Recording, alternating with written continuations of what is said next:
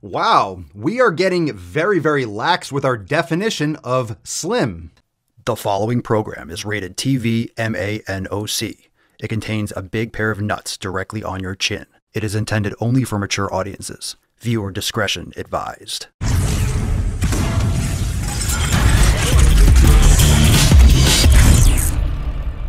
What's going on, fam? It's your boy Papa Swolio back with some more nuts on your chin. Thank you so much for being here. Smash that subscribe button, like the video if you enjoy the salty ball bag, and make sure you check all the links down below. Remember, you can get your fitness on, you can get your meditation on, you can get your yoga on inside Swolenormous X with the Swole fam. Check out swolenormousx.com. You got some free classes in the description box down below. You can also download your free copy of the seven pillars of Swolenormous, all that good stuff over at swolenormousx.com. The Swole fam is where you want to be, especially going into the winter, going into the holiday season, going into the brand new year. We all know 2020 has been an absolute hot mess, but that's only if you are not surrounding yourself with the best people and you're not focused. If you're focusing on all the negative things, of course it's going to be negative. You got to lift yourself up and join the Swole fam. So today we're going to talk about some BMI stuff. Now, the very, very sensitive population that we have to deal with in our culture, all the people, your coworkers, your friends, everyone that gets very, very offended, the offended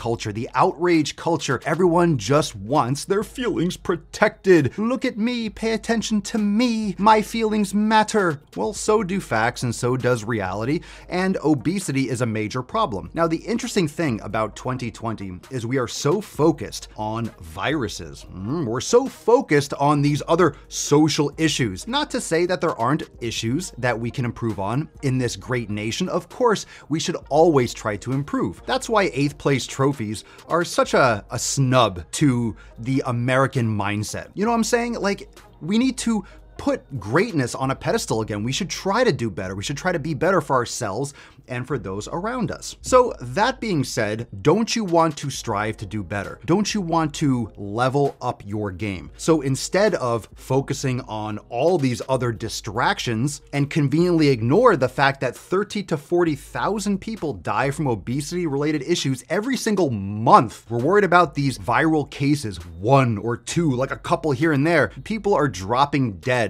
from obesity related issues every day. Every day. No one cares about it. No one cares. You don't hear anyone talking about obesity. It's quite the opposite. We are promoting obesity. We're promoting fat acceptance, right? We don't want to hurt people's feelings. If you're fat, the fatter the better. If you're not super, super fat or infinifat, you're not fat enough. And if you lose weight, you are against fat people, you're a horrible ex-fat. All that nonsense. I mean, drop in the comments down below. I'm sure you are sharing my videos or you are talking about similar topics I cover on this channel and you're getting pushback. You're getting your friends or your coworkers unfriending you or giving you crap in the comments. I've seen it. We're talking about this all the time on the Daily Swole podcast, but I'm sure you deal with this. So just drop that comment down below if you're dealing with a lot of jabronis out there that get offended when you share my content or you talk about this kind of stuff, which is why I shout it from the rooftops, from the swole tops, while I flex and drink some coffee and oh, and act a fool, I say what you can't say. These are legitimate concerns because this kind of victimhood culture, this victimhood mentality is taking over our country. It's not good. It's not good. You see it everywhere now. It's not just fat acceptance, it's everything. It's reparations for everyone all the time, 24 hours a day. The more marginalized you are, the more your feelings could conceivably get hurt, the more valuable of a person you are in our society. So let's not reward merit anymore, shall we? Especially these slim women. Now, that was a long ramp up to this topic, but let's look at this post. Let's look at this shit post. So, this picture shows a bunch of women. Okay, they're women. They're women, you got all the races covered, or most of them, right? You got to go white, black, white, black. It's a very culturally appropriate nowadays, right? It's a very warm, heartwarming picture. Just a reminder that all of these slim women are classified as obese on the BMI scale. Okay. Okay, you're saying these slim women, you see how the post slips that in there. Slim women, that's subjective. You're calling these women slim? I don't think they're slim. They look very average, which is unfortunately in this country, average looks out of shape. These women don't look like they exercise. These women don't look like they eat really healthy. They just don't. Now, I'm not saying they're horrifically ugly. I'm not saying that you should hate on these women. I'm not saying anything about their skin color. Like, I'm not being a hater. I, in my opinion, I don't think these women look healthy. They just look very average. They look average, and guess what is gonna offend people? I mean, anything. But average is unhealthy in this country. So when you say average, we look at this and we show these pictures and we use this as a people try to use this as a spearhead for look, this is what average is. This is okay. I look at that and I think that's what average is. It shouldn't be the average. That shouldn't be the average. People that just don't look like they exercise should not be the average. So it's not a justification like, hey, this is what normal looks like. Normal is obese pretty much in this country. Normal is not taking care of your health. Normal is not meditating. Normal is not practicing yoga. Normal is not exercising. Normal is not drinking enough water. Normal is not getting enough sleep. You see where I'm going with this? So the normal and the average isn't something that we should be trying to achieve. That shouldn't get a trophy. Okay, everyone's going to look different. Everyone's going to be different based on DNA, genetics, how you were raised, all those different things. But let's not kid ourselves, okay? That's not justification to be like, well, I'm morbidly obese. Hey, it's just my genetics, right? I'm just different. Everyone's different, right? Everyone's different. Everyone's beautiful. Everyone's valuable. It seems like a really weak ass argument. It seems like it just covers all the bases and doesn't actually help anyone. It just promotes this victimhood mentality. So under the picture, it says, don't let whatever number you are on the BMI scale make you feel bad. Oh, we wouldn't want your feelings to get hurt. The BMI scale is a poor way of measuring health. Well, fortunately for all of us, the BMI scale does not measure health. Guess what it does? It's the body mass index based on your height and weight. And yes, there are many flaws, especially if you exercise. You have more lean muscle mass, you might show up as overweight or obese, like I do on the BMI scale, because muscle for the actual volume weighs more than fat because it's more dense tissue. So people that are using this as you know, victimhood, BMI doesn't measure health. It doesn't measure health, it measures your body mass index. There's an approximation that's actually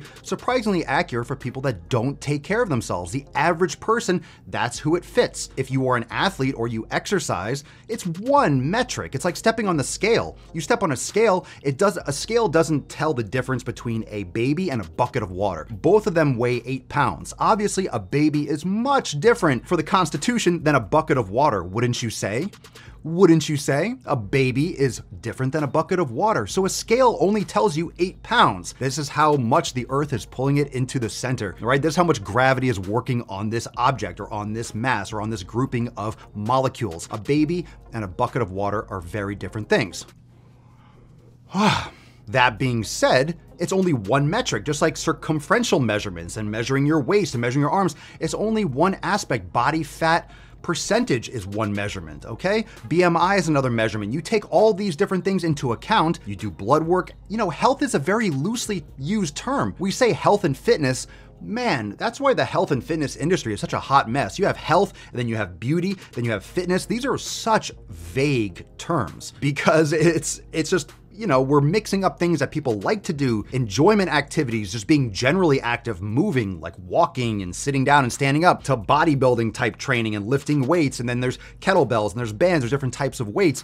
There's more cardiovascular capacity, there's running, there's doing, there's just so many different things to do. There's so many different sports, so many different activities, so many different goals. Like, what is health? You see what I'm saying? What is health? How are we actually defining health? So, anytime someone just says health, or says fitness, it's just such a vague term, it can be interpreted in so many different ways. So it's used as leverage to justify not being or not excelling or not trying to do better. And that's what I find detestable. I'm just tired of all this justification for not excelling. Sure, like, do they, are these women ugly? That's subjective. You might not think they're attractive, okay? You might think they're attractive, and you have the right to think both of those things. Plugging in here that all of these slim women, wait a second, they're not slim. They're turned to the side, you got that knee bend, they got that nice Instagram, you know, posing. They're hiding their bodies behind. If they're standing straight facing the camera, they'll probably all look obese because the BMI chart looks like it's fairly accurate. You know, she's wearing a one piece in the center, they're twisting, they're turning, I'm sure they're sucking their stomachs in, they're smiling, they're wearing light pastel colored, makes them slimmer, right? It's it's a nice picture,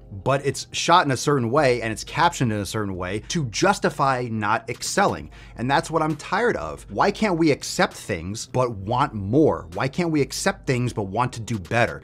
This is seriously just lowering the fucking bar. And we're demonizing people that excel. We're demonizing people that are really fit. We demonize people that are trying to do better. That's what we're doing. We are lowering the bar for achieving to the point where you don't have to do anything. You could actually just be like, hey, look at my skin color, look at my body weight size, look at where I am. Oh, you should feel bad for me. And then we're giving that person all the attention and all the, the reparations in any aspect fat acceptance, body all this social justice nonsense. Like, we're just justifying literally just being average. And I don't think we should justify being average. There's always going to be average or normal or the bell curve. There's always going to be that middle grouping of people that are just where most people fall into. Most people don't want to be insanely fit. Most people aren't that into training and exercise. Most people are never going to be that into nutrition, unfortunately, right? Everyone's going to fall in the middle. And unfortunately, that middle is getting more and more fat, more and more unhealthy. So the average, just saying something is average, is not a positive thing. You've seen the movie WALL-E, I've done content on that recently, justifying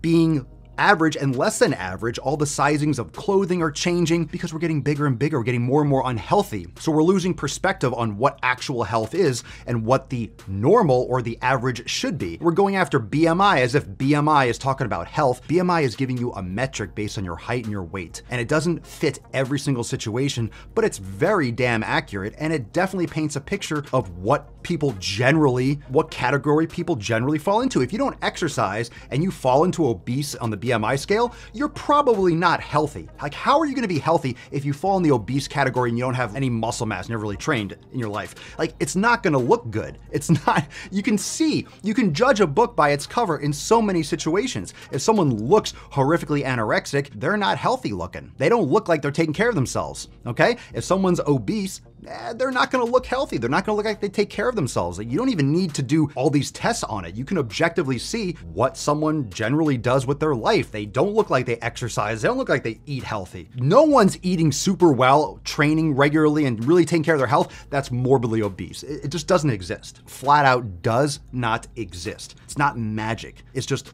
fundamental physics and people are just completely just forgetting that science exists. That's the scary part about all this. And of course, the person that posted this picture, Alex Light, body confidence and anti-diet. It's always got to be anti-diet. It's got to be anti-racist, anti-diet, anti-anti. We're against this. We're against dieting. We're against eating healthy. We're against the system. We're against science. We're against logic. We're against common sense. Oh, we are so righteous and virtuous, aren't we now? Helping women feel good about their bodies. Good, okay. Why can't you help them feel good by helping them take care of their bodies better? Ah, ha, ha, ha. Remember what I always say? Don't change your lifestyle, don't change your habits, just change your hashtag and you're all set. Eating disorder recovery, that's kind of like a blanket statement to give air cover for anything else you want to say. If you say I'm an eating disorder specialist or an eating disorder therapist and blah, blah, you could say whatever you want because, whoa, you don't want to tread on that because eating disorder is such a sensitive issue. With like 80% of people, that's a random stat, but everyone's got eating disorders. If you're choosing fast food on the corner as an option for your nutrition, you have some serious like screws loose. And I'm not saying I've been perfect my entire life. I've documented that and talked about it constantly. But if you're making those kinds of food choices, you got some kind of disorder going on to think that that should be going in your face hole. Legit. Way too much virtue signaling for one post. But anyway, what are your thoughts on this picture? Do you think these women are slim? That's subjective. What do you think about BMI? I just don't like this war on BMI. It's very descriptive. And if you look obese, chances are you're not healthy. Why is that such a horrific thing? Because it hurts your feelings. Oh, I'm so sorry. I'm so sorry. This is the world that we live in. So if you're trying to share content, you're trying to talk to people in your circle, and they're pushing back and they're whining and they're complaining, why don't you join the Swole fam and block out all that noise? You can strive for more, you can strive for better. Check out the other videos on this channel, check out the Forging Pillars videos, check out all my content here, but also at swolenormousx.com. There's amazing testimonials there. Check out the community, check out the unlimited access page, check out the seven pillars free download at swolenormousx.com. But the Swole fam, you could join for less than three bucks, and plus all the other memberships. You got yoga classes, you have an entire yoga studio, a meditation center, hundreds and hundreds of yoga classes, meditation sessions, full programs. You can do them in a gym, you could do them at home. You could do most of the stuff even without equipment with the yoga and the meditation and the body weight, the mobility, the Swole in 7 mobility, the Swole in 7 repair. You don't need much equipment at all to jumpstart your community, jumpstart your fitness. Just get out of that environment. It's all about tightening up your environment and what you surround yourself with. So if you're tired of all the bullshit, you're in the right place. Check out swolenormousx.com. Thank you so much for watching. Make sure you subscribe, like the video, share the video, all that good stuff, and I'll see you real soon for some more nuts on your chin. Peace the fuck out.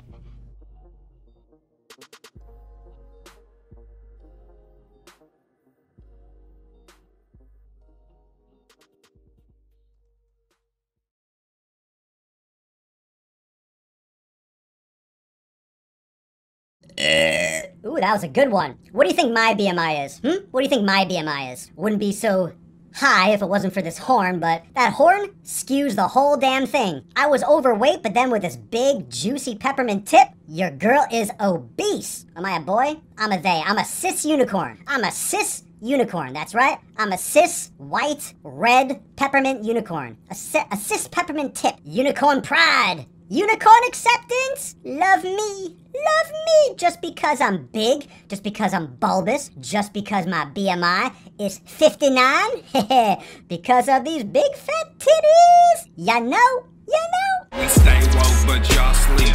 Rilla mo, but y'all sheep. Out in public, she a good girl, but at the crib, she a real freak. New throne for the new king. Same kid, now my streets go.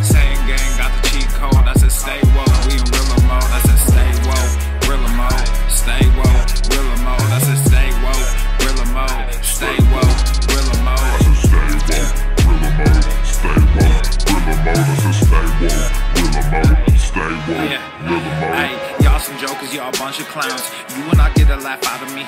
You can talk, but you can't denounce. I live a different theology. Why I transferred to a new account? You just fucked over a prodigy. Posted up with a running crown. You are the king and apology. You about to see a new side of me. I hope you know. We stand up and watch our enemy go. Empire fall, my legacy grows. I might just hop on this melody flow. All this vision, no clarity though. Y'all play that